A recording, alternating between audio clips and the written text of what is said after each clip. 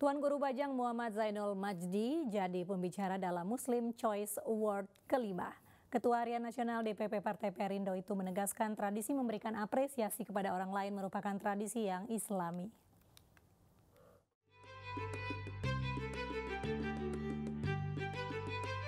Muslim Choice Award mendapat apresiasi dari Tuan Guru Bajang Muhammad Zainul Masdi. Ketua Harian Nasional Partai Perindo yang juga Ketua NWDI ini menilai memberikan apresiasi kepada orang lain adalah tradisi yang islami. Hadir sebagai pembicara dalam Muslim Choice Award kelima di Park Hyatt Jakarta, TGB menegaskan Nabi Muhammad SAW merupakan insan yang menjunjung tinggi apresiasi. Dalam uh, perjalanan Rasulullah SAW, ketika beliau berdakwah di Makkah, maupun di Madinah.